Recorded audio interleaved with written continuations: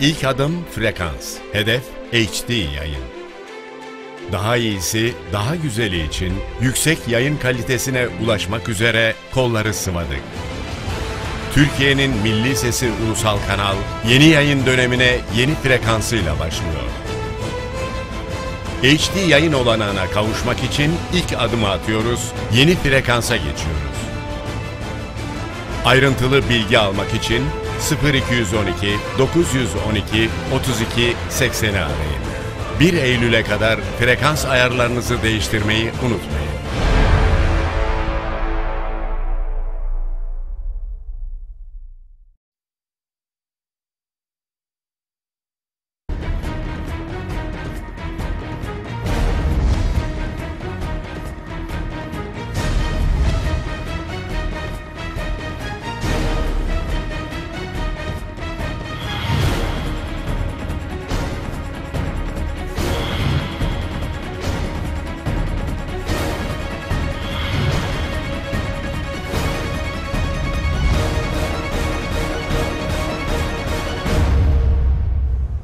Merhaba sevgili arkadaşlar. Bugün 9 Ağustos 2018 Perşembe Ulusal Kanal'da ve Ulusal Radyo'da Türkiye'nin halkçı devrimci yayın organlarında televizyon gazetesine başlıyoruz.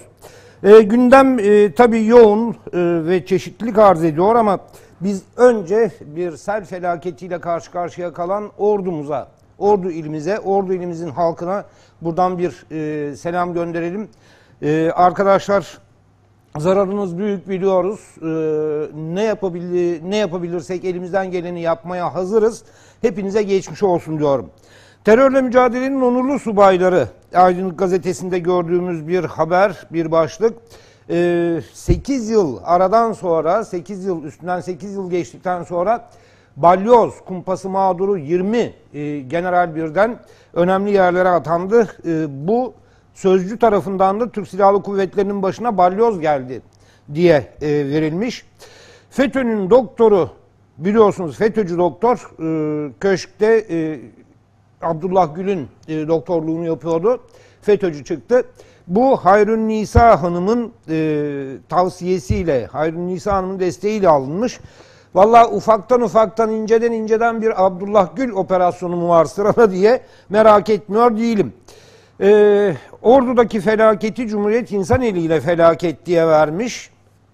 Ee, aydınlıkta fındık seli diye gitti. Milletin e, bütün bir yıllık e, çabası, emeği, tam da bayramüstü, tam da millet bayram alışverişini yapacak, işte kışlık alışverişini yapacak, gitti fındığı Ordu'nun.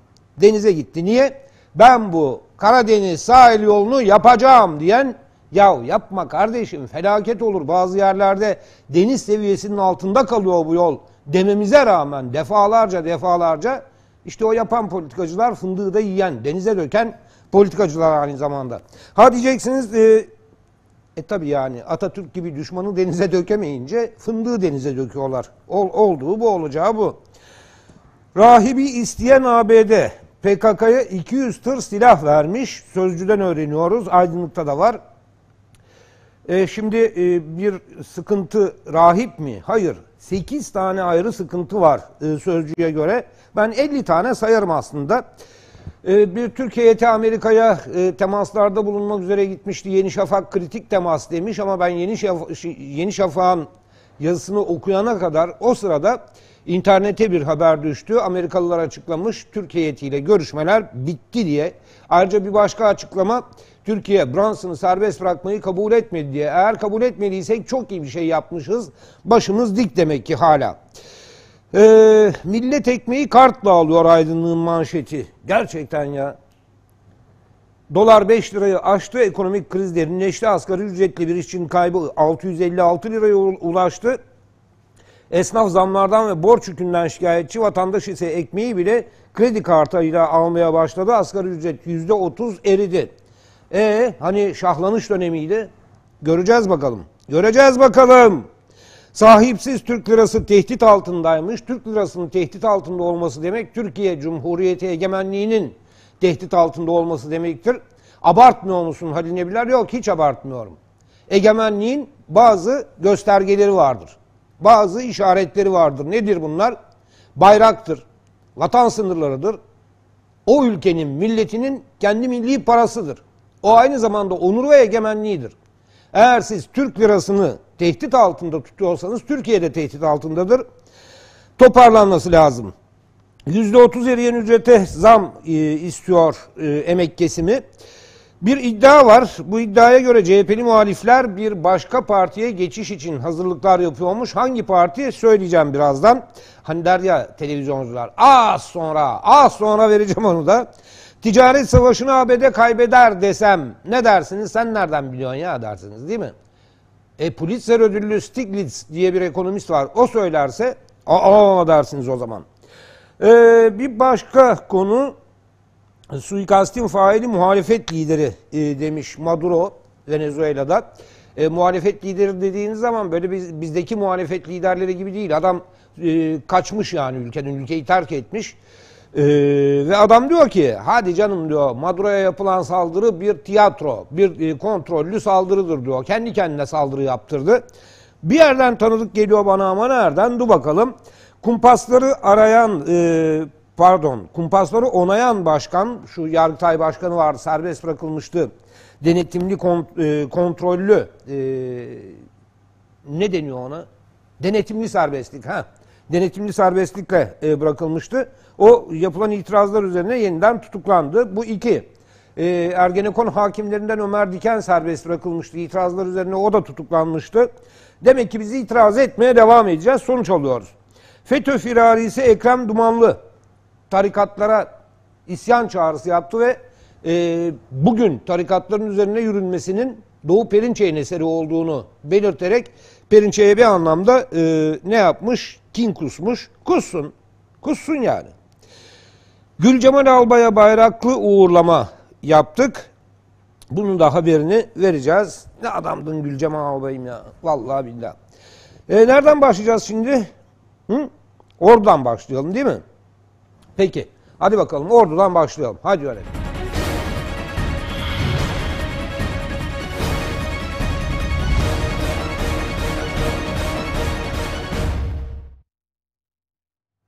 Evet. İnsan eliyle felaket diyor Cumhuriyet Gazetesi Ordu'daki durum için. Ee, ne diyor? Karadeniz sahili taşla dolduruldu. Ee, dere yatakları daraltıldı. HES'lere tabiat, e, HES'lerle tabiatın dengesi bozuldu. İnsan eliyle felaket. Karadeniz'de halk ard arda yaşanan sel felaketleri nedeniyle büyük mağduriyet yaşıyor. Ordu'da dün çeşitli ilçelerde aşırı yağışlar nedeniyle 8 köprü yıkıldı, 7 kişi yaralandı. Karadeniz sahil yolunda ulaşım durdu. Mahsur kalanlar iş makineleriyle kurtarıldı. Selden 500 bin kişinin etkilendiği açıklandı.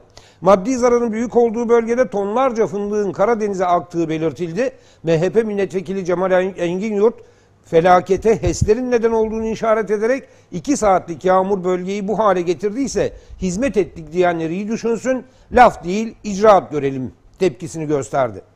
Ordu Çevre Derneği Başkanı Güler, Güle Ersan bölgede faaliyet halinde 20'ye yakın HES olduğunu vurgulayarak dere yatakları tahrip edildi, ekosistem değişti, maden faaliyetleri için ağaçlar kesildi, felaket şaşırtıcı değil. Yetkilileri defalarca uyardık ama ciddiye alınmadık dedi. Şimdi bakın arkadaşlar bu köprü işte Ordu'nun Ordu Samsun e, karayolu zannediyorum. Bakın şuradan itibaren ikiye yarılmış. Onun daha yakın bir fotoğrafı olacaktı Serkan. Serkan. Neyse Serkan bul. Ha bakın yol şu hale geliyor. Bölünmüş yol yaptık, bölünmüş yol yaptık dediğiniz bu muydu? Hakikaten bölünmüş yani ha. Yol yaptık, inşaat yaptık, bilmem ne yaptık. Bu kadar yapıyorsunuz siz bu yolları, bu inşaatları, bu bilmem neleri. Mimar Sinan köprü yapıyor, 400 yıldır ayakta. Hem de o zaman için yapıyor. Ne otobüs var, ne tır var, ne bilmem ne var. Bugün üstünden arabalar geçiyor. Eskiden at arabası, öküz arabası geçerken bugün kaç tonluk arabalar geçiyor. Bir şey olduğu yok. Bu mu sizin yaptığınız yol? Daha iki gün önce bir haber vardı. Yeni havaalanında şey çökmüş, zemin çökmüş. E bir iş yapmak değil ki bu. Köprüye bak. Köprüye bak ya ne halde. Çevrecileri dinlememişler. İki saatlik yağmur bölgeyi bu hale getirdiyse. iki saatlik yağmur bölgeyi bu hale getirmez. Arkadaşlar bakın o bölgeye belki 500 bin yıldır, 1 milyon yıldır yağmur yağar. 10 bin yıldır aynı şiddette yağar. 5 bin yıldır aynı yere yağar. Sen getirip o yağmurun, o selin olduğu yere köprü yaparsan hesabını kitabını yapmadan o yağmur, o sel, o köprüyü yıkar kardeşim. Hangi yolu, hangi köprüyü nereye koyacağını o çevrenin doğasına bakarak hesaplayacaksın. Çevre, çevre felaketi diye, sel felaketi diye bir şey yoktur. O sel bin yıldır akar oradan. Senin onu, onun önüne ev yaparsan yıkar geçer. Yıkar geçer. Deprem falan, deprem felaketi yok. Sen gidip evi düz ovanın ortasına yaparsan o ev yıkılır. Yapsana sağ, sağlam zemine. Biz hep şey yapıyoruz. Hep başkalarına atıyoruz suçu. Trafik canavarı. Ne trafik canavarı?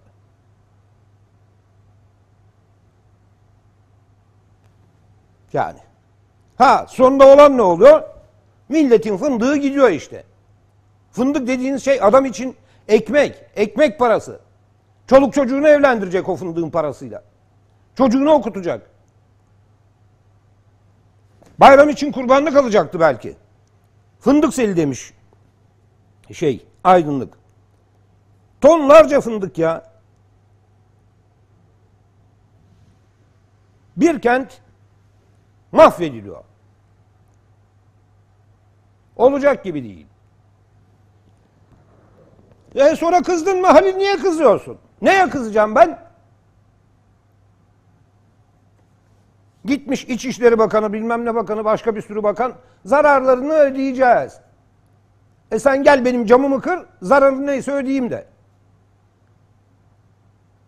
Yok ya ben bu, bu anlayışı hakikaten anlayamıyorum. Bu yönetim anlayışını hakikaten anlayamıyorum. Anlayamıyorum. Kimse kusura bakmasın.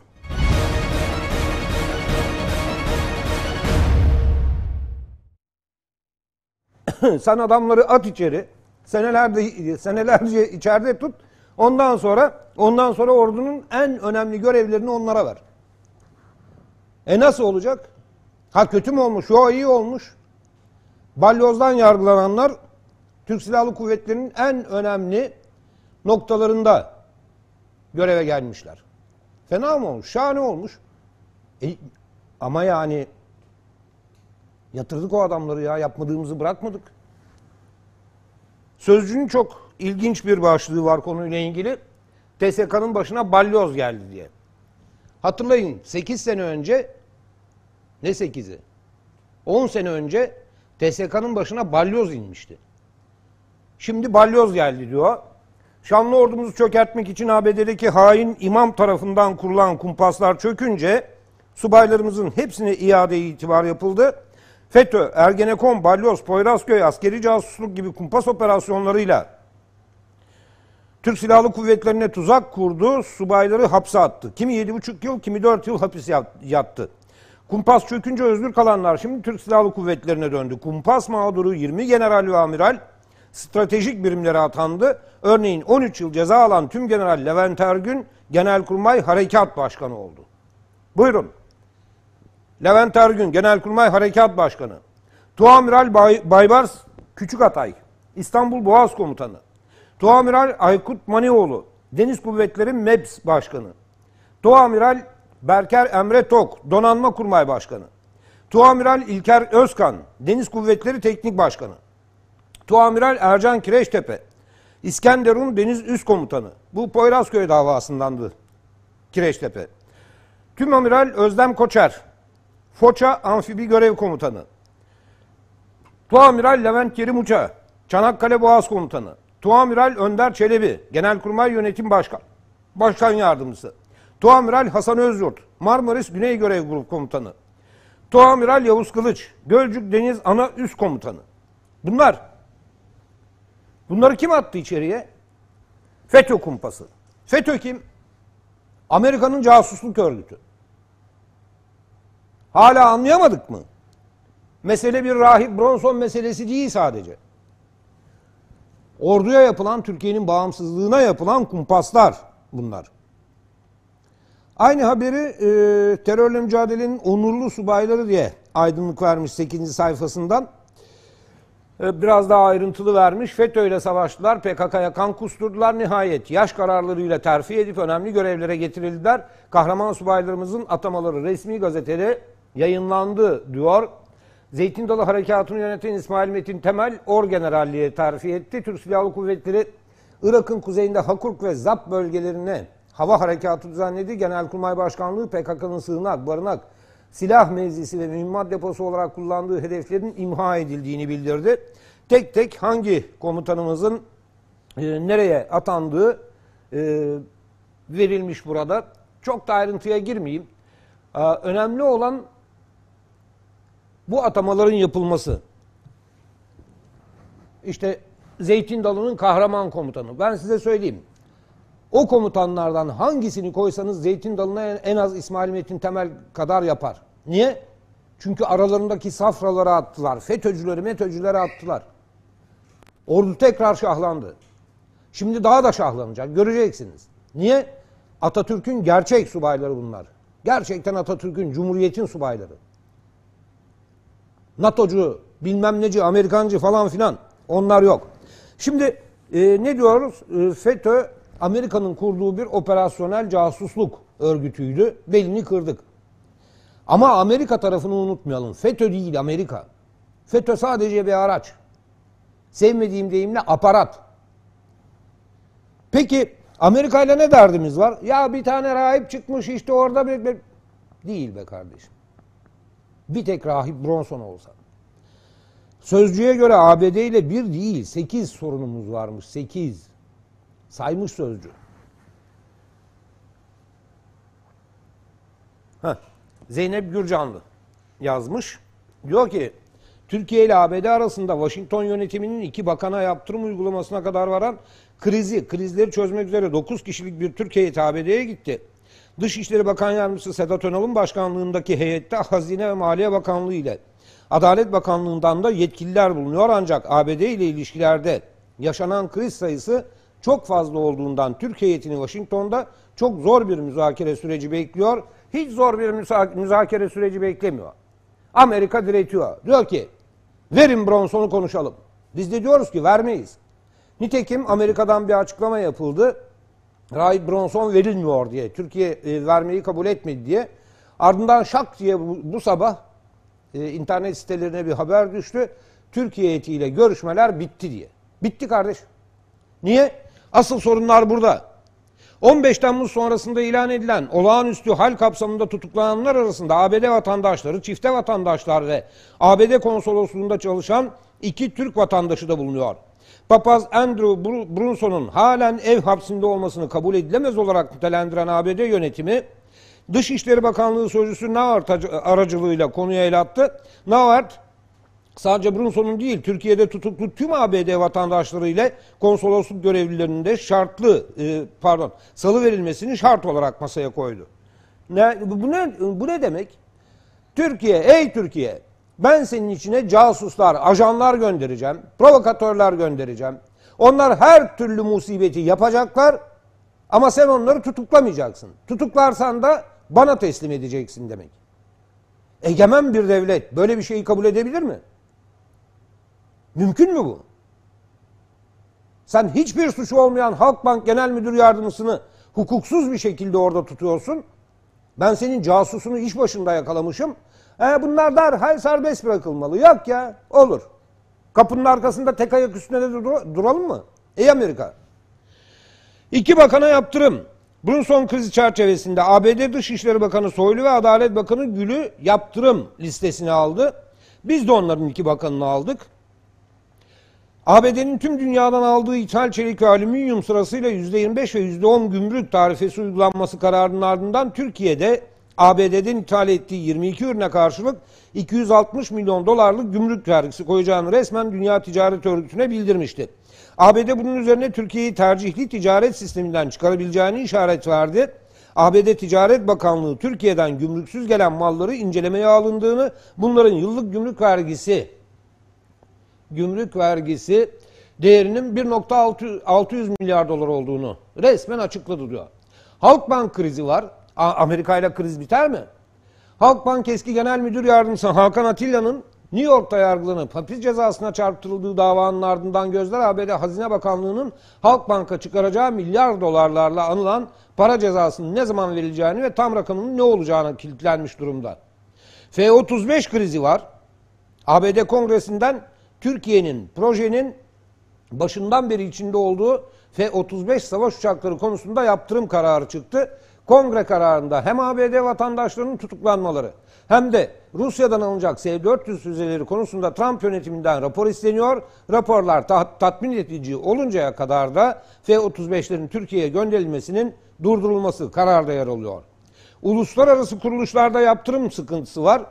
ABD Kongresi, IMF, Dünya Bankası gibi kuruluşların Türkiye ile olan her türlü proje, eğitim, kredi işbirliğini durdurmasını istiyor. E, İran'a yaptırımlara katılmamızı istiyor. O da bir kriz. O da bir kriz. ABD'nin İran'a yaptırımlarının ilk bölümü bu hafta başladı ancak Türkiye'yi asıl etkileyecek olan ABD'nin İran'dan doğal gaz ve petrol alanında işbirliği yapan yabancı şirketlere de yaptırım uygulama kararı Kasım ayında yürürlüğe girecek. Türkiye bir kez daha hayır ben İran'la ticaretimi devam ettireceğim, gaz almayı sürdüreceğim diye açıklama yaptı.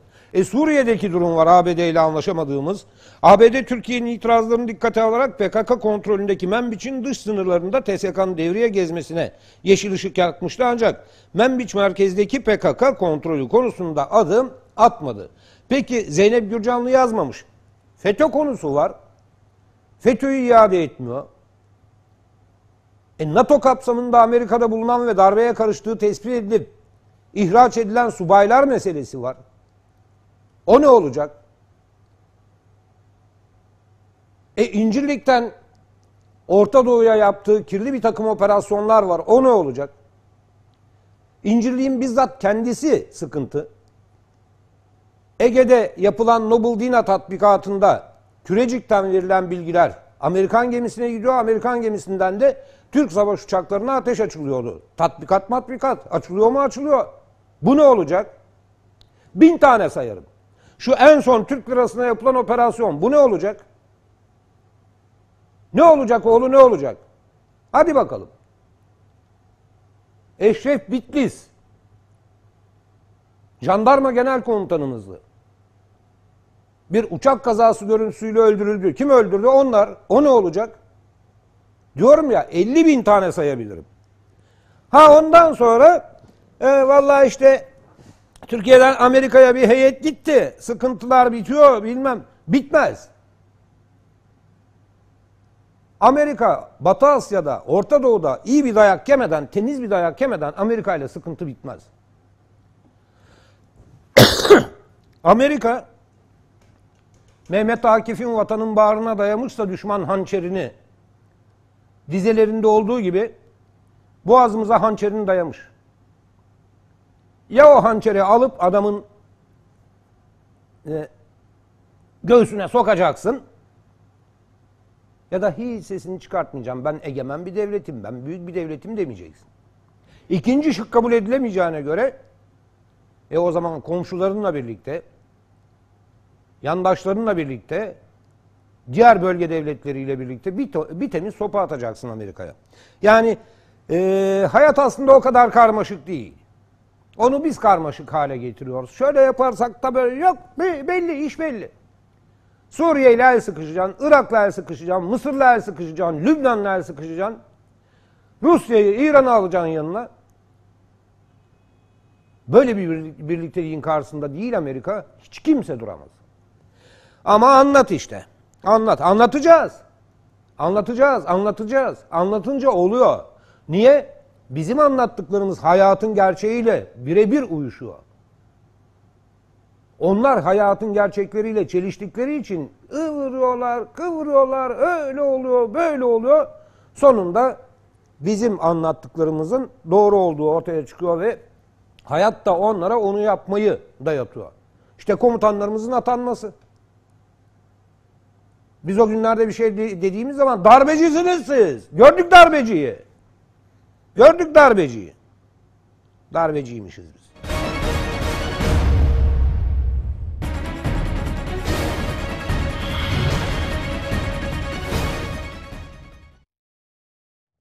Arkadaşlar Suriye dedim de Suriye Devlet Başkanı Esad e, gerçekten dirençli çıktı ve ülkesinin önemli bölümünü e, temizledi. Daha da temizleyecek. Şimdi İdlib meselesi var. Ama e, değerli eşi Esma Esad dayanamadı galiba. Çünkü e, bir haber aldık. Meme kanseri olmuş. E, o haberi verebilir miyiz? Evet.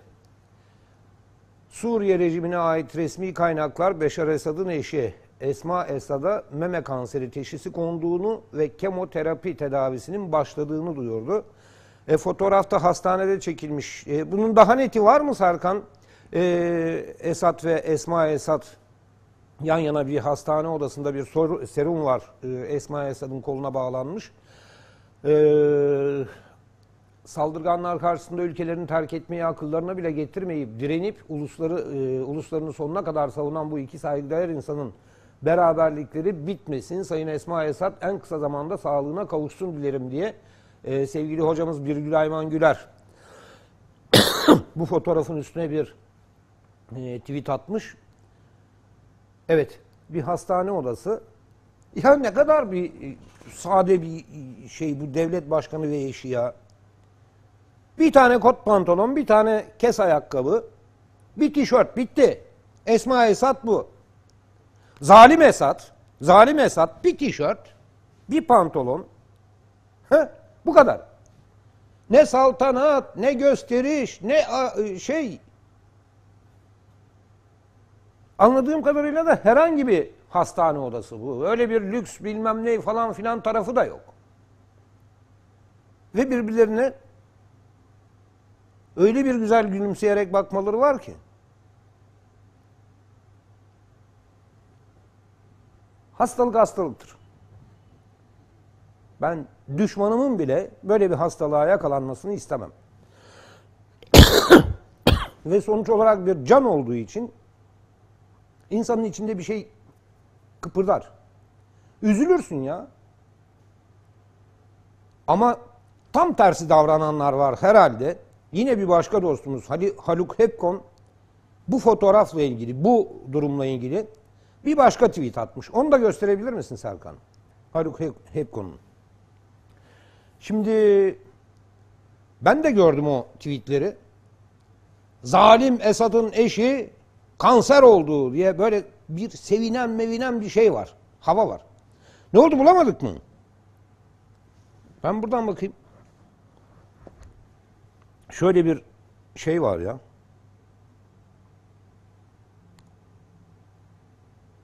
Bakalım bakalım.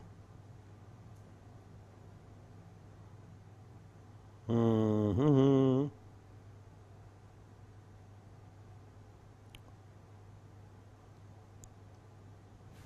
Yok mu Serkan? Heh, ben de bulamadım iyi. Ya tabii bu ıı, şey Esma Esad'a ıı, saldırılarla ilgili onları kınayan bir ıı, mesaj atmış. Ben sonuç olarak Sayın Esma Esad'ın bir an önce sağlığına kavuşmasını diliyorum. Çünkü çok haber çıktı bu Suriye'de iç savaş dedikleri Amerikan saldırısı başladığında. Esma Esad kaçıyor bilmem ne şu bu hu neler söylediler. Bir haftadır ortada yok dediler tak kadın sokağın ortasında dolaşıyor. Kadın e, işte Ürdün'e kaçtı dediler. Aa, bir bakıyorsun kadın kol kola yürüyor şeyle. E, hafız e, şeyle. Beşar Esad'la. Helal olsun. Kendi uluslarını sonuna kadar savundular. Tebrik de ederiz yani. Hazır dışarı çıkmışken, yurttan dışarı çıkmışken şu Venezuela'ya bir daha bakalım isterseniz. Venezuela'da devlet başkanı Nicolas Maduro'ya e, dronlu yani insansız hava araçlı bir saldırıda bulunulmuştu ve e, Maduro e, Kolombiya ve Amerika'yı bundan sorumlu tutmuştu. Daha iki gün önce anlattık Kolombiya'da neler oldu. Amerika'nın Kolombiya'ya ziyaretleri, onunla birlikte yürüttüğü çalışmalar. Her şey ayan beyan ortada. Suikastin faili muhalefet lideri diyor e, takvimdeki haber. Venezuela lideri Maduro. Kendisine düzenlenen suikast girişiminin arkasında muhalefet lideri Borges'in olduğunu duyurdu. Sürgündeki Borges ise suikast girişimini kurmaca, tiyatro ve kontrollü suikast olarak nitelendirip kendisini savundu. Kurmaca, tiyatro ve kontrollü suikast. Nereden hatırlıyoruz bu lafları biz? Nereden? Kendi kendine darbe yaptı Erdoğan ya. Deme be. Kurmaca bu darbe ya. Hadi ya. Tiyatro bu. Tiyatro oynuyorlar. Ne tiyatrosu be? 250 insan öldü. Halkın üstüne ateş açtı adamlar. Başarabilselerdi görecektiniz siz tiyatroyu.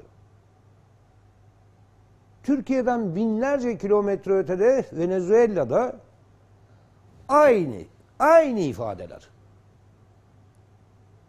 Bakın arkadaşlar 12 Eylül döneminde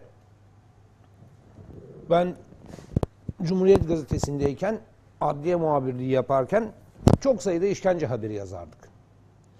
Daha sonra ortaya çıktı ki kullanılan işkence yöntemleri dünyanın birçok ülkesinde aynı biçimde uygulanıyor.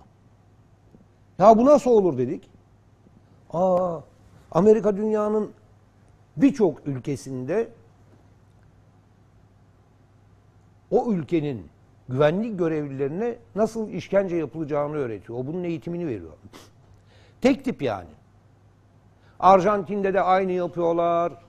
Ne bileyim mesela atıyorum Brezilya'da da aynı yapıyorlar. Türkiye'de de bu darbe meseleleri de Amerikan kontrolünde olduğu için, Amerikan yönetiminde olduğu için bakın Türkiye'deki de aynı şeyi söylüyor. Venezuela'daki de aynı şeyi söylüyor. Ne demiş adam? Suikast girişimini kurmaca, tiyatro ve kontrollü suikast olarak nitelendirip kendini savunmuş. Kontrollü suikast. Allah. Kontrollü darbe. Hani bir laf vardır Harun, bilirsin sen. Yersen, dolapta sarma var, yersen.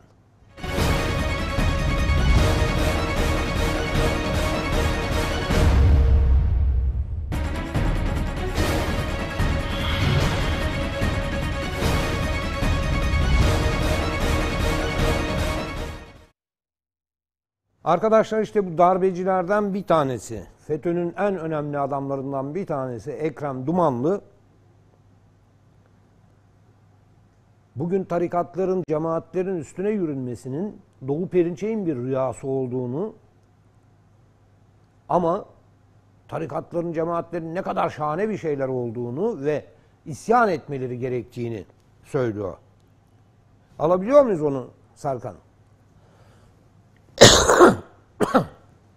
Kapatılan Zaman Gazetesi'nin genel yayın yönetmenliğini yapan FETÖ firarisi Ekrem Dumanlı yayınladığı bir video ile Türkiye'deki tarikatları ve cemaati ve AKP'ye karşı çıkmaya çağırdı. Gülen cemaatinin kapatılan gazetesi Zaman'ın FETÖ firarisi Ekrem Dumanlı, Zaman'ın genel yayın yönetmeni FETÖ firarisi Ekrem Dumanlı, Türkiye'deki tarikatları ve cemaatleri AKP'ye karşı çıkma çağrısı yaptı. Konuşmasında Cumhurbaşkanı Erdoğan ve AKP hükümeti hakkında çok ağır ifadeler kullanan Dumanlı, yapılan operasyonlar sonrasında tutuklanan Adnan Oktar ve grubu ile Alpaslan Kuytul ve cemaatine sahip çıktı. Sözlerin devamında Süleymancılar cemaatinden de övgüyle söz eden Dumanlı, Kamuoyunda Adnan Oktar ve tarikatına yapılan operasyonun Türkiye'deki diğer cemaatlere ve tarikatlara yapılması planlanan operasyonlar öncesinde bir aşama olduğunu iddia etti. AKP hükümetinden siyasal İslamcı diye söz eden Firari Dumanlı, siyasal İslam hiçbir zaman tarikatlardan, cemaatlerden, İslami gruplardan mutlu ve memnun olmadı şeklinde konuştu. Siyasal İslamcılar devleti puta benzetirler diyerek AKP'yi eleştirmeye devam eden Dumanlı, Cumhurbaşkanı Erdoğan'ın başbakanlığı döneminde danışmanlığını yapan Yeni Şafak gazetesi yazarı Kemal Öztürk'ün devlet kimdir? Helvadan yapılmış bir puttur yazısına da gönderme yaptı. AKP hakkında bayrağı düşman idiler, İstiklal Marşı'na düşman idiler, hatta Akif'in bazı cümlelerine düşman idiler iddiasında bulunan Dumanlı, tarikatların ve cemaatlerin daha böyle devlet düşmanı olmayan ama devletin güdümünde de olmayan kendi bağımsızlığı olan duygu düşünceleri vardı. Cemaat kadro siyasal İslami hareket İslam kitle hareketidir. Siyasal İslam yalan da söyler, ajitasyon da yapar. Tarikata ve cemaate, e, cemaat ise bir kuyumcu titizliğiyle insana değer verir diyerek diğer tarikat ve cemaatlere barış çağrısında bulundu. Ne diyor Ekrem Efendi? Bir kuyumcu titizliğiyle insana değer verir. Ha biliyoruz. Tarikat yurtlarında, cemaat yurtlarında tecavüz edilen çocukları biliyoruz. Bir kuyumcu titizliğiyle tecavüz ediyorlar. Adnan Oktar'ın neler yaptığını biliyoruz. Bir kuyumcu titizliğiyle o genç kızları baştan çıkarıp esiri haline getiriyor. Bir kuyumcu titizliğiyle insanların iliklerini toplayıp toplayıp İsrail'e Amerika'ya gen haritamızı veriyor. İnsana değer veriyormuş tarikatlar cemaatlere. Yok ya bir kuyumcu titizliğiyle istihbarat yapıp e, önemli bilgilerimizi İsrail'e veriyorlar. Kuyumcu titizliğiyle değer veriyormuş. Vay be. Devam edelim. Dumanlı bir yandan Türkiye'deki cemaatlerden ve tarikatlardan övgüyle söz ederken öte taraftan da 15 Temmuz darbe girişimini yapan, TSK'ya kumpas kuran, FETÖ'nün okullarının kapatılmasına ve FETÖ'cü iş adamlarının mallarına el konulmasına karşı çıktı. Ne yapacaktık? Alkışlayacak mıydık?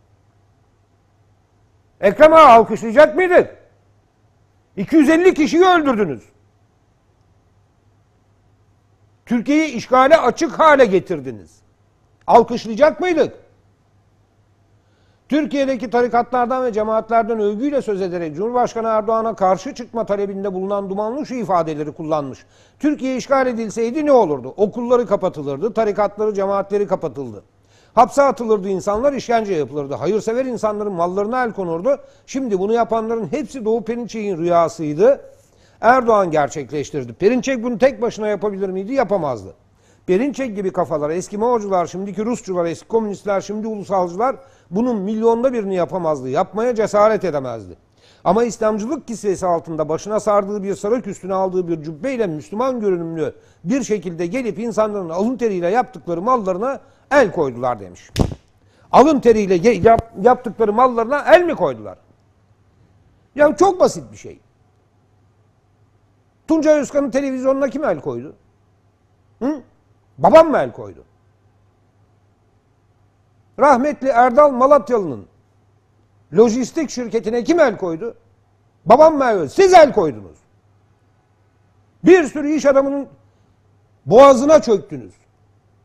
Bir sürü iş adamının boğazına çöktünüz, işlerine, mallarına, mülklerine el koydunuz. Alın teriyle yapmışmış. Akın İpek kimdi be? Cağaloğlu'nda yokuşta bir tane düğün davetiyeleri satan, basan matbaacıydı o kadar. Nasıl zengin oldu? e çalıştı. He, nah çalıştı. Çalışmakla verse verirdi bana. O kadar parayı Akın İpek'e kim verdi? Çalışmış. Cemaatin gücünün devletin gücü, devletin gücünün cemaatin gücü haline getirdiniz ve çöktünüz insanların servetlerine. E şimdi o mallar alınınca kahrolsun Doğu Perinçek he? Ama dediği şu. Dediği doğru. Perinçek bunu tek başına yapabilir miydi? Oo, bütün cemaatler, tarikatlar, e, bütün e, İslamcı partiler Perinçek'in tepesine çıkmaya çalışırlardı. Komünist bu, bu din düşmanı bu. Öyle olurdu. Yani bırakın onu CHP yapmaya kalksaydı gene yapamazdı. Gene yapamazdı. Orada haklı. Peki AKP yaptı. İyi mi yaptı? Şahane yaptı. Oh cillop yaptı. Cillop, cillop. İstediğin kadar bağırsan. İstediğin kadar bağır. Bugünün zalimleri, tarikatları iki şey zorlu, iki şeye zorluyor. Ya bizim emrimize girin ya da sizi yok edeceğiz. Emrine giren cemaatlere de yazıklar olsun diyorum. İfadelerini kullanan Dumanlı, bugün bir tarikat, bir cemaat etrafında toplanmış insanlara sözüm şudur. Her kim olursa olsun bağımsızlığınızı elinizden almak isteyen, eğer bu bağımsızlığınızı teslim etmiyorsanız sizi yerle bir etmeye, katletmeye, ah etmiş insanlara boyun eğmek yok demiş. Bağımsızız diyor değil mi? Bağımsızlık bağım... Yahu siz bağımsız mıydınız? Ya lideriniz 20 yıldır Amerika'nın kucağında, FBI'nin denetimi altında bu nasıl bağımsızlık? Siz Amerika'ya her tarafından bağımlı bir casusluk ve operasyon örgütüsünüz. Tarikatların bağımsızlığı. Ne bağımsızlığı? Tarikatların çoğu, çoğu, cemaatlerin, tarikatların çoğu bu yabancı istihbarat örgütlerinin avucunun içindedir. Asıl bağımsızlık dediğiniz laikliktedir. Cumhuriyettedir, Türkiye Cumhuriyeti'nde. Türkiye şeyhler, dervişler, mensuplar ülkesi olamaz diyen Mustafa Kemal'lidir bağımsızlık. Öyle yalandan Amerika'ya bağımlı bir bağımsızlık yoktur onda. İstiklali tam vardır. İstiklali tam. O kadar. Arkadaşlar devam edeceğiz ama Türkiye Ziraat Odası Genel Başkanı Şemsi Bayraktar açıklamalar yapıyor. Zannediyorum Kurban Bayramı e, sebebiyle ama ordudaki duruma da değinebilir. Şemsi Bayraktar'a bir göz atalım. Ziraat odalarımızdan aldığımız bilgilere göre bu yıl kurban döneminde hayvan fiyatlarının illere ve canlı ağırlığa göre farklılık göstermekle birlikte hayvan başına büyük başta 5000 ile 20 hayvanlarda 15 ile 28 lira arasında olması tahmin edilmektedir. Görüldüğü gibi canlı kilogram veya hayvan fiyatı büyük başta düve, tosun olmasına, küçük başta koyun keçi olmasına, canlı kilogram ağırlıklarına ve illere göre büyük farklılıklar arz etmektedir. Bayram yaklaştıkça gerçekleşecek taleple bu fiyatlar değişebilecektir. Ülke ortalamasına bakıldığında büyükbaş hayvanların canlı kilogram fiyatının 20 lira 55 kuruş, küçükbaş canlı kilogram fiyatlarının ise 21 lira 13 kuruş olduğu görülmektedir.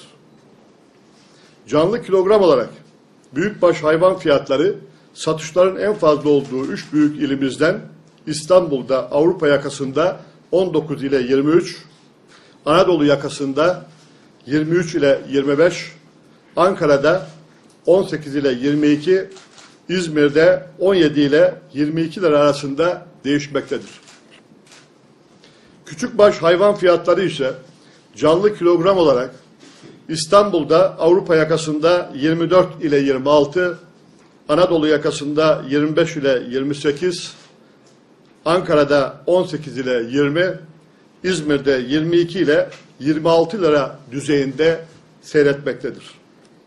Ülke ortalamasında fiyatlar geçen yıla göre büyük başta yüzde 8.6, küçük başta ise yüzde 11.2 oranında artmıştır.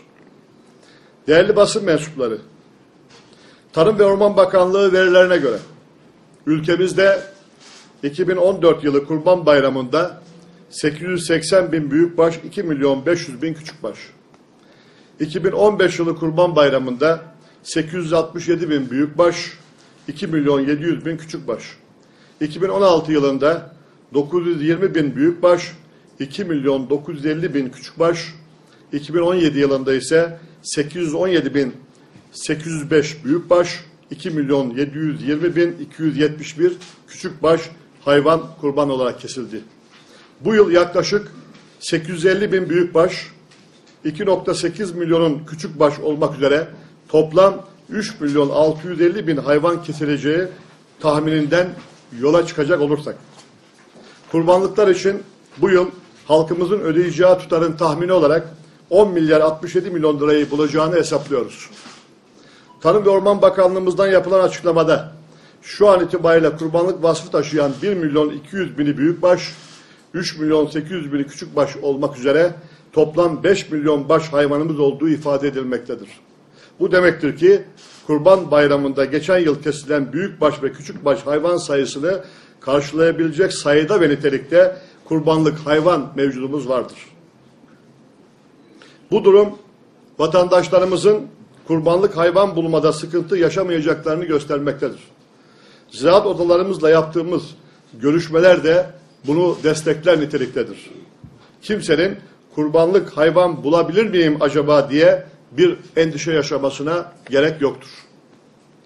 Üreticilerimiz bu yıl bayram tatilinin çok uzun olması nedeniyle birçok kişinin tatili tercih edip kesim yapmayacakları, bunun da satışları olumsuz etkileyeceğini düşünmekte bu konuda endişe yaşamaktadır. İnşallah bu endişe yersiz çıkar, üreticilerimiz emeklerinin karşılığını alır ve hayvanlarını uygun fiyata satarlar. Şayet satışlar beklendiği gibi olmazsa üreticilerimizin bayram döneminde satılamayan hayvanları maliyetlerin altında yok pahasına ellerinden çıkarmaları önlenmelidir. Bu hayvancılıkta üretimin sürdürülebilirliği açısından fevkalade önemlidir.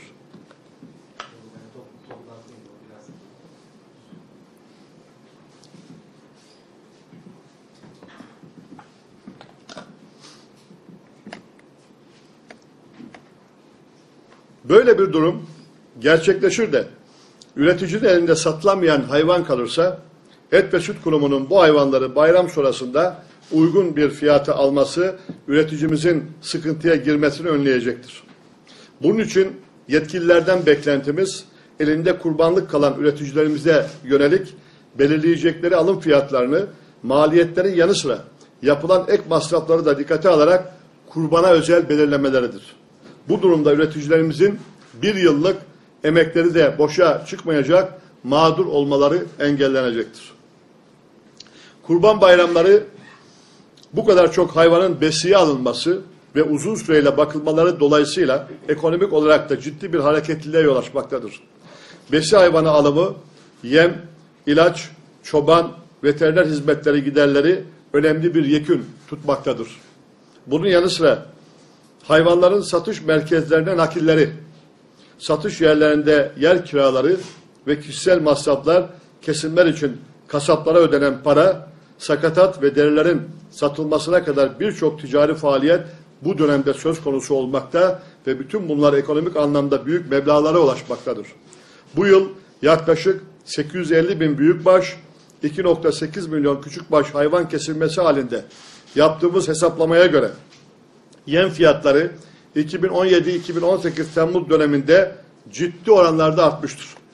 İlgili dönemde ton olarak mısır %8 artışla 950 liraya, buğday kepeği %32.8 artışla 870 liraya, ayçiçeği tohumu küspesi %46.2 artışla 892 liraya, besiyemi %20.5 artışla 1215 liraya, saman %36.8 artışla 528 liraya, mısır silajı %20.5 artışla 311 liraya, kuru yoncu otu %19.5 artışla 864 liraya yükselmiştir. Yem, besilik alımının ardından en önemli maliyet kalemidir. Dolayısıyla yem fiyatlarındaki yükseliş üretimi önemli oranda etkilemektedir. Kurbanlık için besiye alınan büyükbaş hayvanların ortalama 6 ay beslendiği hesabıyla 6 aylık yem masrafı hayvan başına 2100 lirayı bulacaktır. Kesilecek olan yaklaşık 850 bin büyükbaş kurbanlık hayvan için toplam yem masrafı 1 milyar 785 milyon liraya ulaşmaktadır. Yine ortalama 6 ay besiye alınma hesabıyla küçükbaş hayvanlarda hayvan başına yem masrafı 500 lirayı, 2.8 milyon küçükbaş hayvan için yapılan toplam yem masrafı ise 1 milyar 400 milyon lirayı bulmaktadır.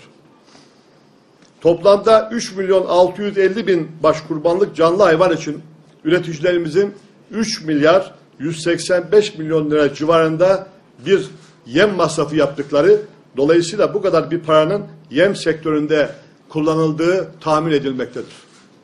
Ortalama 400 kilogram canlı ağırlığa sahip büyükbaş hayvanın canlı kilogramının 20 lira 55 kuruş civarında satılacağı düşünüldüğünde bayram süresince kesilecek 850 bin büyükbaş hayvana halkımızın ödeyeceği para 6 milyar 987 milyon lirayı bulacaktır. Bir büyükbaş, bir küçükbaş hayvanın ortalama 1100 liradan satılacağı tahminiyle kesilecek yaklaşık 2.8 milyon küçükbaş hayvana halkımızın ödeyeceği para ise 3 milyar 80 milyon lirayı bulacaktır. Daha önce de belirttiğim gibi toplamda halkımızın tahmini olarak 3 milyon 650 bin kurbanlık için 10 milyar 67 milyon lira ödeyeceğini tahmin ediyoruz. Standartlara uygun kesilmiş veya tuzlanmış yaş koyun derisi yaklaşık 10 liraya satılmaktadır. Ortalama 2 milyon 800 bin küçükbaş hayvan kesileceği hesap edildiğinde küçükbaş hayvanların derilerinin ekonomik değeri yaklaşık 28 milyon lirayı bulacaktır. 400 kilogramlık bir sığırdan ortalama 30 kilogram deri çıkmaktadır. Standartlara uygun elde edilmiş tuzlanmış sığır derisinin kilogramının 4 lira olduğu göz önüne alındığında kesilecek 850 bin büyükbaş hayvandan elde edilecek derinin değeri 102, 102 milyon liraya ulaşacaktır.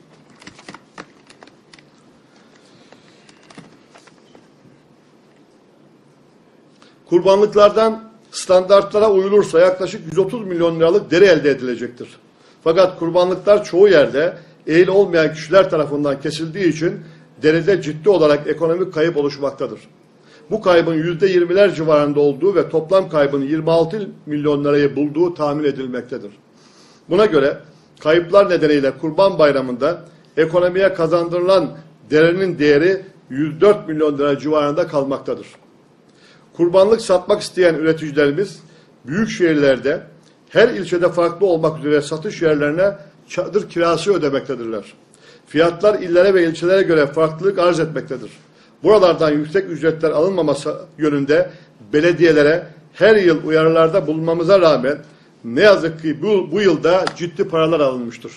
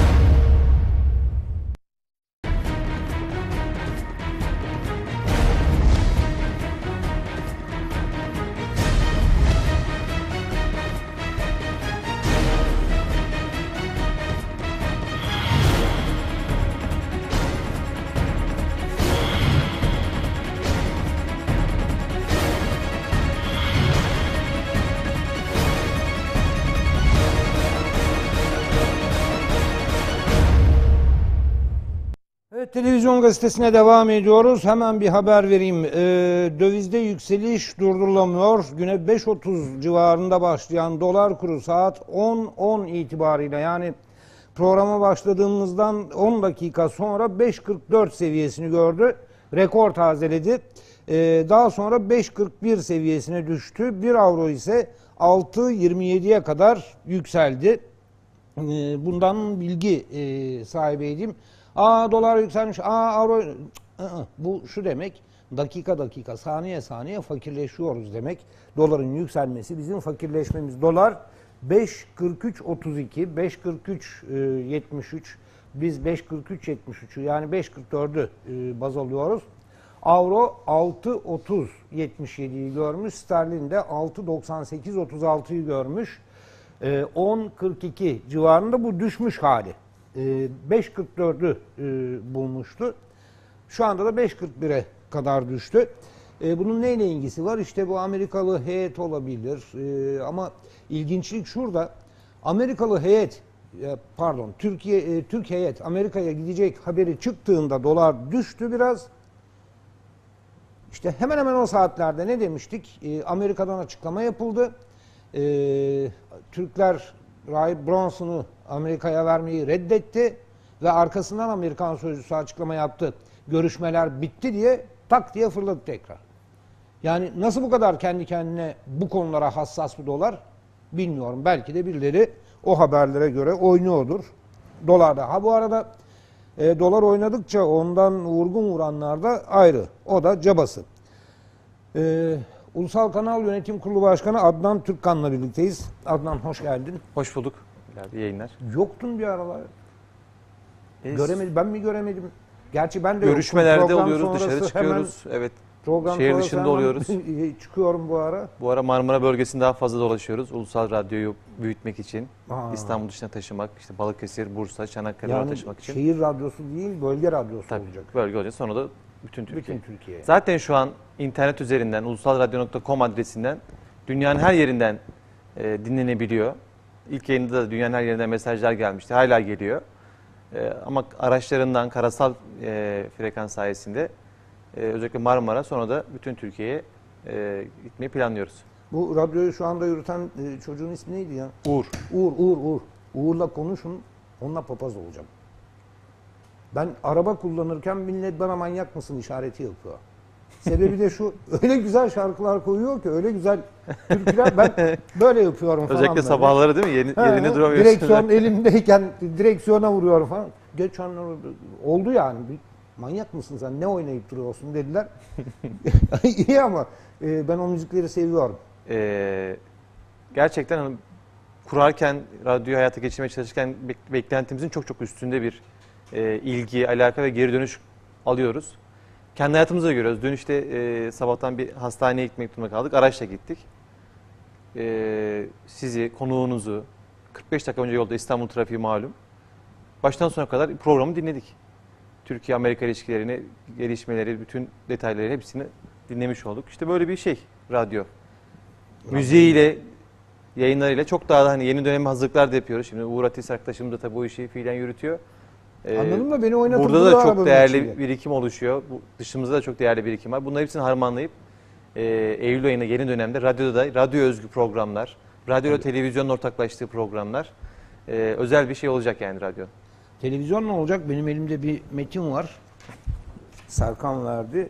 Türkiye'nin milli sesi ulusal kanal yeni yayın dönemine yeni frekansıyla başlıyor. Heh tamam. Yaptık.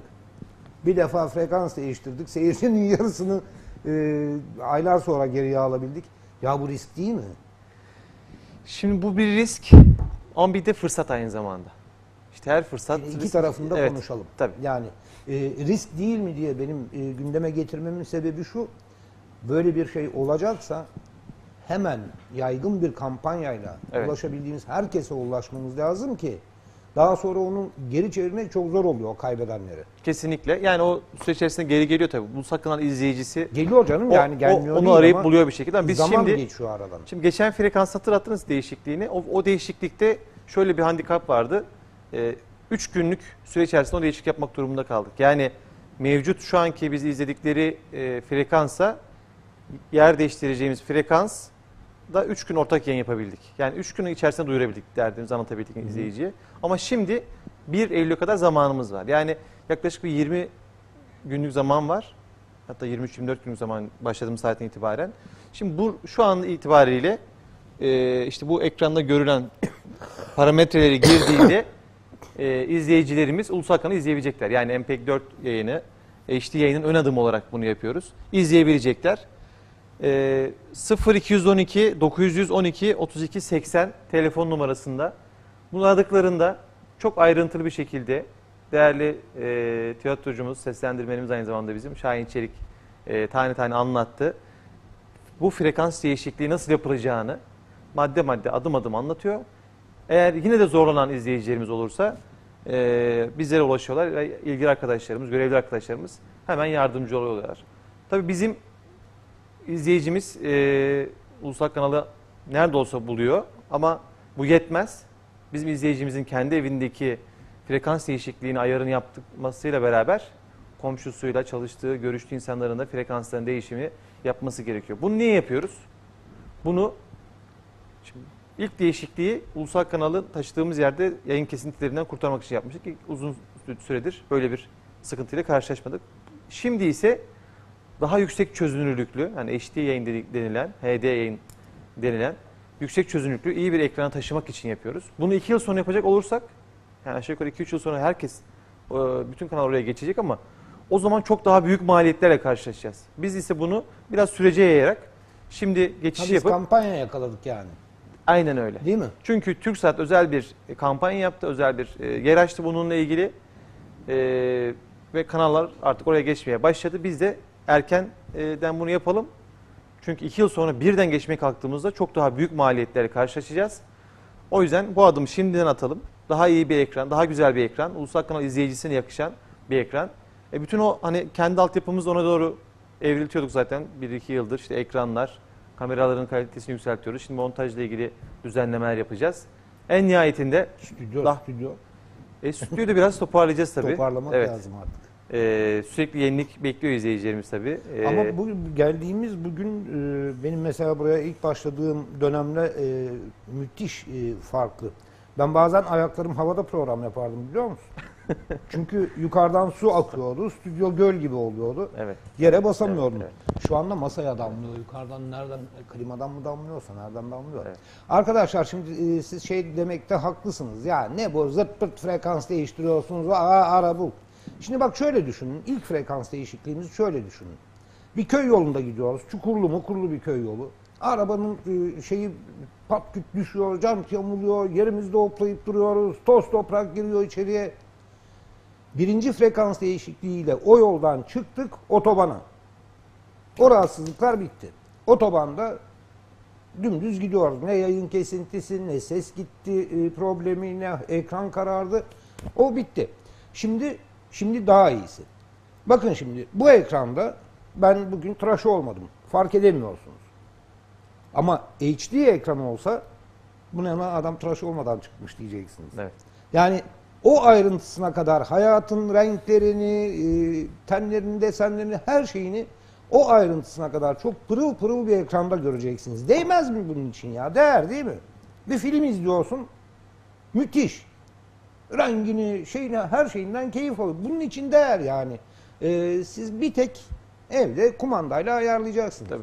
Maliyet Bir de bu, bunu attığımızda, bu adım attığımızda yani TürkSat şi- şimdiden özel bir kampanya yaptığı için daha e, tasarruflu bir iş de yapmış olacağız.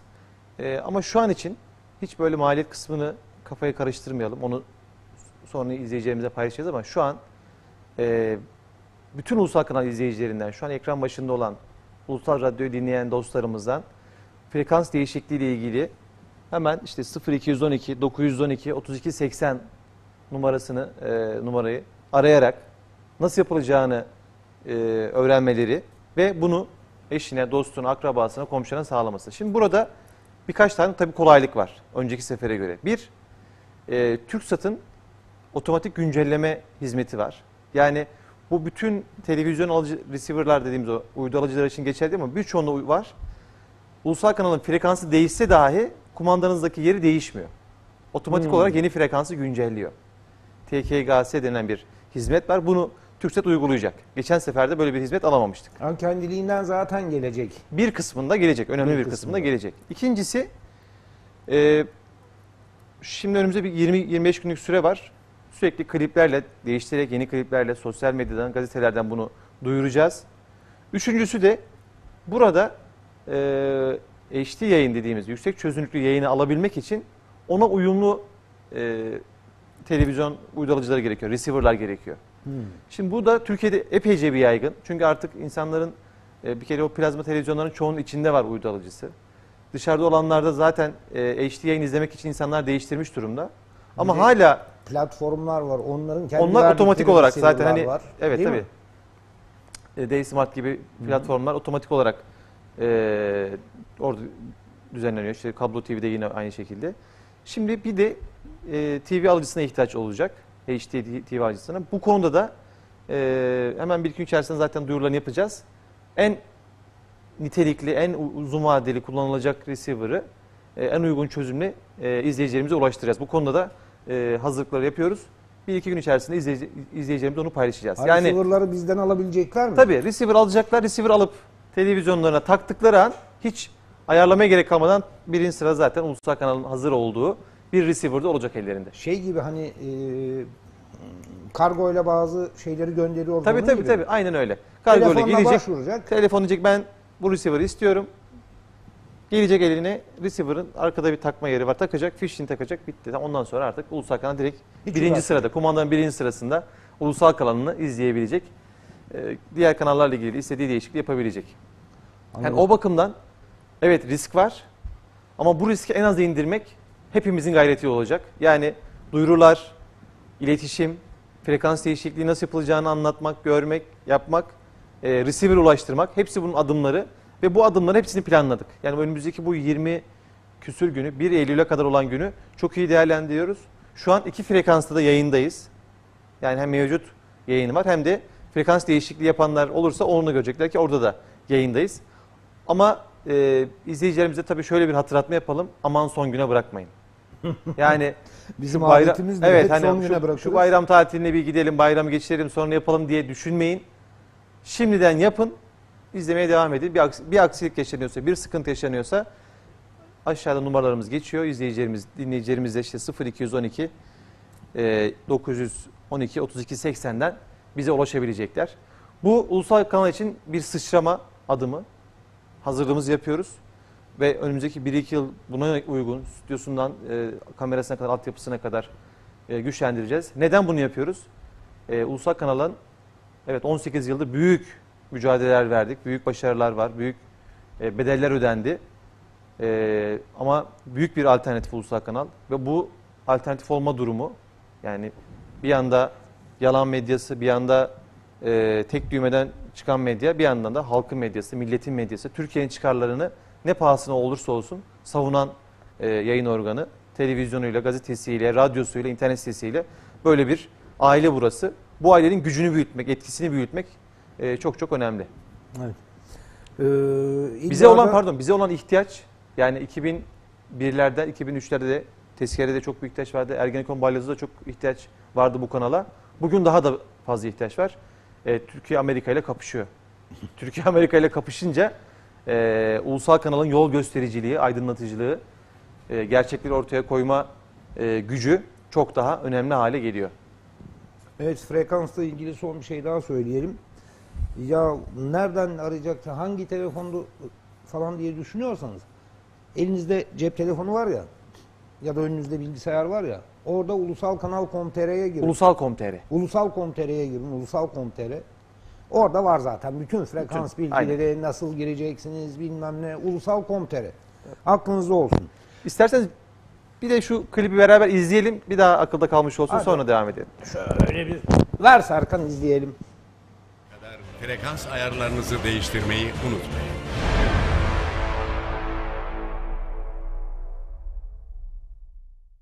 İlk adım frekans, hedef HD yayın. Daha iyisi, daha güzeli için yüksek yayın kalitesine ulaşmak üzere kolları sıvadık. Türkiye'nin milli sesi ulusal kanal yeni yayın dönemine yeni frekansıyla başlıyor. HD yayın olanağına kavuşmak için ilk adımı atıyoruz, yeni frekansa geçiyoruz. Ayrıntılı bilgi almak için 0212 912 32 80'i arayın. 1 Eylül'e kadar frekans ayarlarınızı değiştirmeyi unutmayın.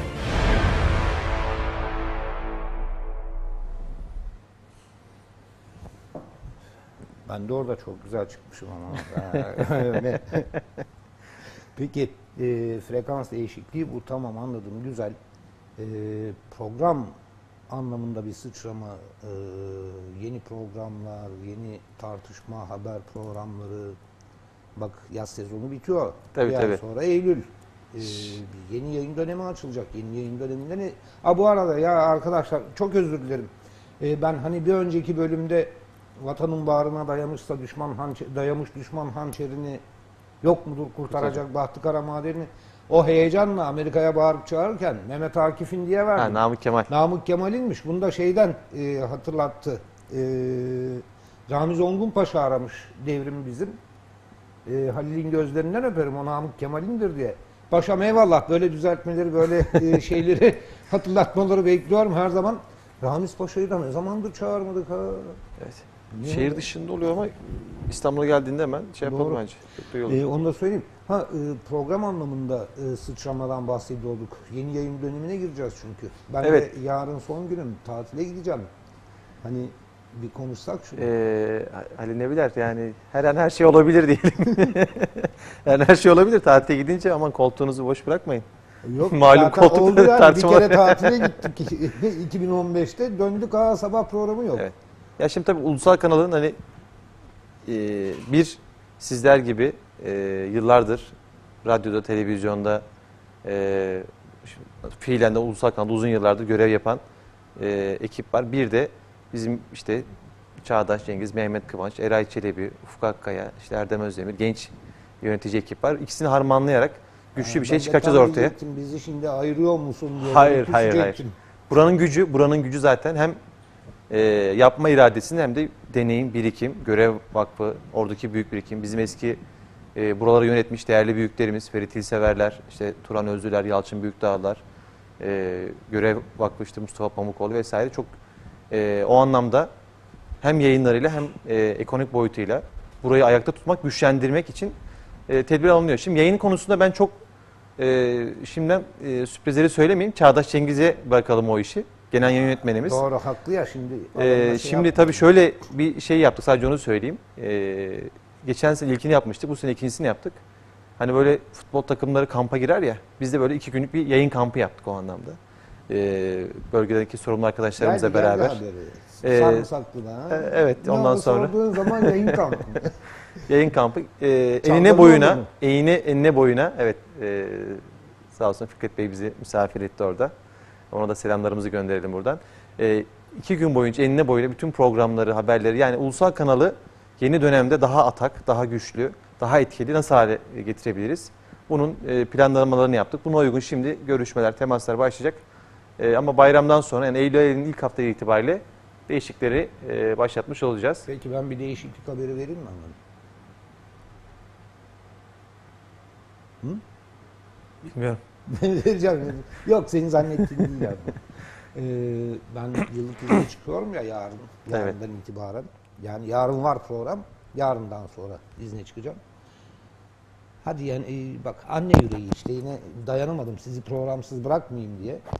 Ee, izimizin dinlemeden geçen yıl yaptığımız gibi 27 Ağustos'tan başlayarak bir hafta çökertmeden yayın yapacağız. Televizyon gazetesi yeni yayın dönemine bütün programlardan önce girecek. 27 Ağustos'ta girecek çökertmede.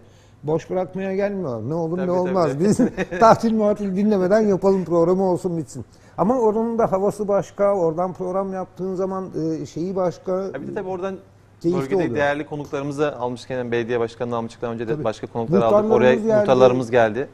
Yani Ee, çevre köylerin sorunları, bölgenin sorunları e, o kadar şey oluyor ki yerinden yaptığın zaman Ee, yine e, Sarımsaklı'dan yapmıştık e, Ayvalık çevresini e, Aynen. o sorunları zeytinli zeytincinin sorunlarını falan yani bu yerinden bir program olacak yani 27 Ağustos'tan itibaren çökertmedeyiz. son Haberiniz dönemde olsun. özellikle onu çok onu çok önemsiyoruz yani yerinden yapmak, oradan konuklarla e, doğrudan işin içindeki insanlarla konuşmak. İstanbul, Ankara'dan hep canlı yayınlar yapardık. Şimdi artık İzmir'de stüdyomuz var. İzmir'den de canlı yayın yapabiliyoruz. Konuklar alabiliyoruz. Keza işte Aydın vesaire oralarda da e, canlı yayın yapacak hemen ekipmanımız var. O bakımdan yani yerinden yapmak Ya hatırlasana. Adnan, Antep'tir, Hatay'dır, referandum, Karadeniz'de evet. Barzani Çok daha referandumunun Tabii, yapılacağı e, günden iki ya da üç gün önce burada bu ekranda 9 tane canlı yayın noktasını koyduk. Tabii Dokuz tabii ayrı tabii. noktadan canlı yayın. Kerkük'e giden arkadaşımız Bağdat'tan bağlantı yaptık, İran'dan bağlantı yaptık. Tabii. Yani mesele e, artık yani teknolojinin de gelişmesi biraz tabii o, o bakımdan biz onu iyi yakalayıp en doğru haberi, en doğru yorumcularla doğrudan muhataplara verebilmek. Yani bu ilke geçen sene dediğiniz gibi çok hani dikkat çekmiş o zaman. Keza işte imza kampanyası zamanında hani e, Çatır hatırlarsınız. çatır Türkiye'nin her tarafından 7-8 yayın yerden 9 yerden bağlantılar, ilçe ilçe bağlantılar. Bunlar bizim eee şeyimiz. Bu arada bak Mehmet Can Polat gazeteci abimiz Frankfurt'tan hemen mesaj attı. Frankfurt'ta da canlı yayın stüdyonuz hazır. Hemen başlayabiliriz diye. Tamam Mehmet ben geliyorum şimdi. Mehmet Can Polat da oradan yazdı. Yani biz eee, büyük bir savaş veriyoruz. Karşımızda çok büyük eee, maddi güçle beslenen, desteklenen medya kuruluşları var. Ahtapot hani böyle ışılda ışıl ışıl televizyonlar vesaire gazeteler ama hepsi eee, geliyor bir yerde tıkanıyor. Bazıları bazı sizin obsesif dediğiniz şeyler dış siyasette. Böyle Bazıları geliyor orada tıkanıyor. Bazıları başka noktada tıkanıyor. Bazıları öyle bir kör çıkmaza giriyor ki işte Maduro olayında gördüğünüz gibi yani kontrollü suikast gibi. Yani eee e, muhalefet Orada hani sosyalizmi, milli petrolü savunan bir siyaset var. Ona karşı e, ahtapot kollarını atmış emperyalistler var. O petrolü almak istiyorlar. Çünkü Chavez onları millileştirdi ve Venezuela halkına armağan etti. Ondan vazgeçtikleri an aslında Maduro bir anda kahraman olacak. Şey olacak ama onu yapmak yerine Maduro ülkesini savunuyor, milli değerlerini savunuyor, milli ekonomisini savunuyor, milli petrolü savunuyor, sosyalizmi savunuyor. Karşısında en aşırı sağcı ve işbirlikçi kesimler var. Her türlü dışarıdan destekli bu işi yürütüyorlar. Türkiye'deki bir takım yani böyle Tayyip Erdoğan'la Maduro arası iyi diye ona düşmanlık yapacağım diye sosyalizme, sola, milli değerlere düşmanlık yapıyorlar. Bu kadar e, kör bir kuyuya düşmüş durumdalar. O bakımdan ulusal kanalın her kesimi uyarmaya, uyandırmaya ihtiyacı var. Vallahi uyandırıyoruz işte elimizden geldiği kadar. Ee, şey diyelim hani Atatürk'ün bir sözü var ya bir Türk dünyaya bedeldir diye. bir ulusal kanal alayına bedeldir. Hiç merak etmesin kimse. Biz e, hallederiz o işleri. İstedikleri kadar yalan söylesinler, yalan yazsınlar. Biz ulusal kanaldan söylediğimiz zaman hepsinin etkisinden fazla olur. Yani biz e, tabii bir bir Türk dediğiniz yani bir tek başımıza kalmak istemiyoruz tabii ki. Çoğalsın yani. Keşke bu 18 yıllık süre içerisinde bir sürü kanallar kuruldu, kapandı. işte ART vardı, Kanal Türk vardı vesaire. Geldi gitti. Radyolardan kapananlar, gazetelerden gidenler oldu, Sen bakma, kapananlar oldu. bazıları bize karşı, bizim Evet. etkimizi kırmak için bilerek kuruldu. Bunlar da oldu ama şimdi e, gerçekten medyada öze- özel bir e, tekerleşmeye doğru gidiliyor. İşte o bakımdan ulusal kanala gerçekten çok büyük ihtiyaç var. Bunu her gittiğimiz yerde gördüğümüz e, dostumuz bunu tekrar tekrar söylüyor. O bakımdan büyük sorumluluk hissediyoruz bizler de. Bu sorumluluğu yerine getirmek için sürekli e, kendimizi geliştirmek, kendimizi büyütmek, ulusal kanalı güçlendirmek için e, çalışmalar yapıyoruz. Şimdi e, ben Adnan'a bir e, pas atacağım. E, yönetim kurulu başkanı adam. Tabii ki pas atacağız. Yani değil mi? Estağfurullah. Allah Allah. E, bakın arkadaşlar Adnan e, dedi ki büyük bir kavgaya girdik. Amerika ile göğüs göğüse çarpışıyoruz. Doğru. Haklı. İşte bütün bu Rahip Brunson olayları, şunlar bunlar hepsi bu Amerika ile göğüs göğüse gelmenin e, sonuçları daha da vahime olacak, daha da e, sert şeyler olacak.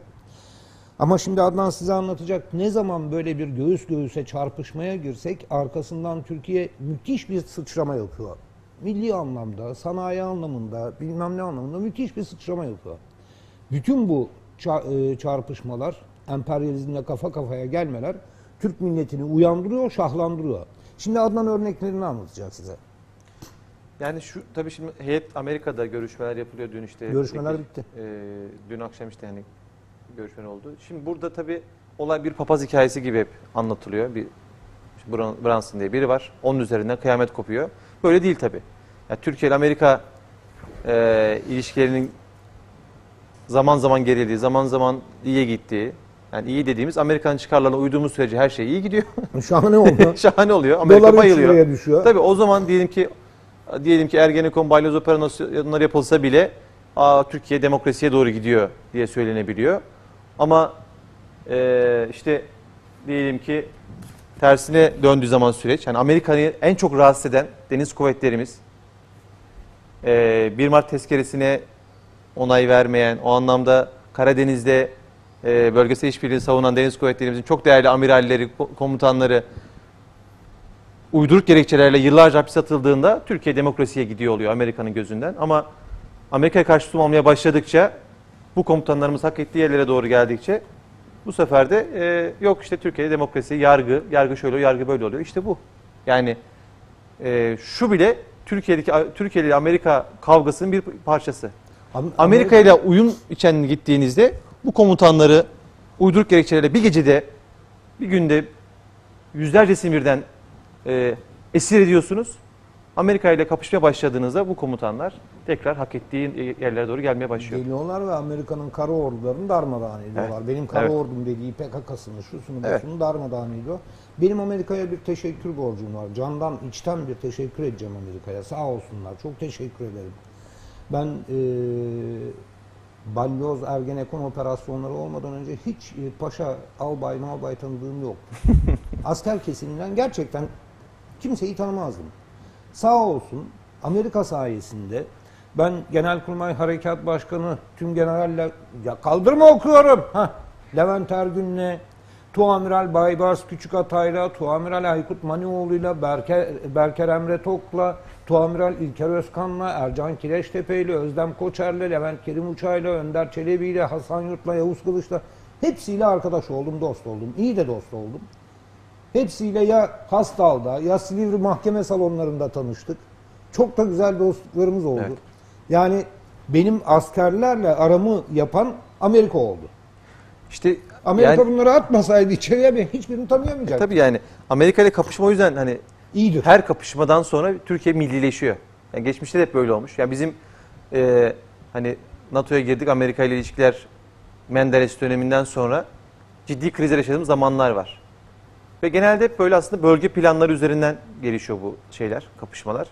İlk işe 1960'larda hemen 60'ların başında 61, 62, 63'lerde Kıbrıs üzerinden gelişiyor. Yani Kıbrıs'taki e, yaşayan e, Türklere karşı büyük e, katliamlar oluyor, saldırılar oluyor. Türkiye buna karşı bir önlem e, almak için daha 1964'lerde bir e, adaya çıkarma yapma planı ortaya koyuyor. Bakın Türkiye'nin Kıbrıs'taki e, Türkleri korumak için 7 Haziran 1964'te adaya çıkarma kararı alıyor. 5 Haziran'da o zamanki e, ABD Başkanı Johnson'ın zehir zemberek böyle Türkiye'ye e, o zaman işte İsmet İnönü e, çok sert ve yani buna karşı NATO konseyini, Birleşmiş Milletler Güvenlik Konseyi'ni e, gerekse toplantıya çağırırız diyerek e, bizden izin almadan Kıbrıs'ta, Kıbrıs'ta konusunda harekete geçemezsiniz diyerek yani normalde diyoruz hani NATO'nun müttefikiyiz, NATO'nun içindeyiz. Oradaki e, soydaşlarımızla ilgili büyük katliamlar, insan dışı eylemler yapılıyor, katliamlar yapılıyor, baskınlar yapılıyor. Buna karşı bir e, önlem alınmak isteniyor. Bu, Amerika hemen Aa, sen benim çıkarlarıma karşı hareket ediyorsun diyor. Bunu yapamazsın diyor. Bunu sana yaptırmam diyor. Türkiye'nin şu o nedir? İşte o ondan sonra e, o dönemlerde İsmet İnönü'nün o meşhur lafı ettiği dönemdir bu. Yeni bir dünya kurulur. Türkiye'de orada yerini alır. Şimdi bundan sonra ciddi bir hani Amerika ile kapışmamızdan sonra e, petrol konusunda millileştirme orada dalgası. başka bir şey var. Tabii. Ee, Adnan. Siz- Şimdi bak e, Menderes dönemi Amerika'ya en çok yanaştığımız dönem. Aynen. Yani küçük Amerika ne 5 dakikası ya? Aa, zaman ne çabuk geçti 5 dakika diyor. Çok kısa keseyim o zaman.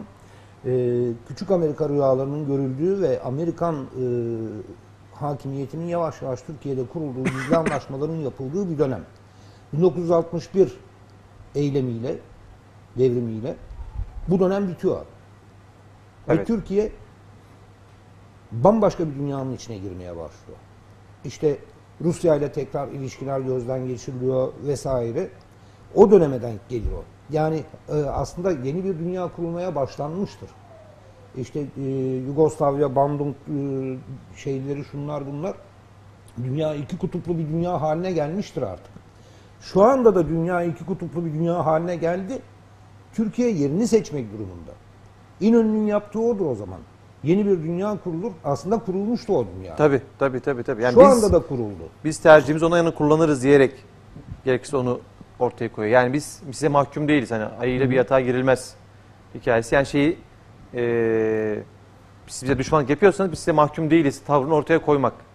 Ve ondan sonra işte malum işte zaten Türkiye'de 68'in aslında tohumları buralarda atılıyor. Yani Amerika 68'in Kıbrıs. İskenderun demir çelik fabrikaları Tabii gibi tabii tabii büyük ekonomik olarak sanayi yani. yani milli uyanış bağlamında tabii. söylüyorum ben. Yani e, milli petrol, milli silah, milli sanayi, milli ordu, e, milli savunma. İşte Muammer Bu- Aksoyların, Uğur Mumcuların petrolümüz millileştirilsin, Tabii, tabii, tabii, NATO üstleri Yani kapansın. Mu- Muammer Aksoy'un hayatı aslında bununla geçiyor Tabii. neredeyse. Bütün mücadelesi bununla ilgili. Şimdi tabii buna bunun devamında 1970'lerde bir kapışma daha yaşanıyor. Yine mesele Kıbrıs. 64'te çıkarma yapmayı planlıyoruz ama henüz e, yeterli e, gemilerimiz vesaire olmadığı için yapmıyoruz onu. Bunun hazırlıklarını yapıyoruz ama 74'te Ayşe tatile çıkıyor ve biz e, Cem Gürdeniz birkaç hafta önce burada beraber program yaptığımızda coğrafyayı değiştirdik. Son 100 yılda yani şeyden sonra Kurtuluş Savaşı'ndan sonra çok önemli Batı'nın planlarını bozan bir coğrafi değişiklik yaptık. Yani Kıbrıs'a çıkarma yaparak oradaki büyük bir planı bozduk. e, dengeleri değiştirdik ve orada kalıcı hale geldik. Bu bu Batı'nın affetmediği bir şeydi ve işte onu 1970 Serkan şey gelirsek 1974'de onu yapıyoruz. Bunun üzerine tekrar Amerika tabii diyor ki biz size silah ambargosu koyuyoruz, vermiyoruz diyor. Ee, zaten şimdi ne zaman NATO üyesiyiz sözde, Amerika müttefikimiz. Ne zaman sıkışsak Amerika bize yamuk yapıyor. silah vermiyor, ambargo koyuyor, ee, yaptırımlar uygulamaya kalkıyor. Bunun üzerine yine kapışma oluyor ve biraz daha yukarı çıkarsa Serkan, ee, 1975 yılında Bakanlar Kurulu karar alıyor. Bugün e, Yalçın Bayar da yazmış. Bakanlar Kurulu'yla e, Tü- Türkiye'deki Amerikan üslerini kapatıyoruz. 22 üs olması lazım. E, 5000'e yakın askeri personel, Amerika'nın personelini sınır dışı ediyoruz.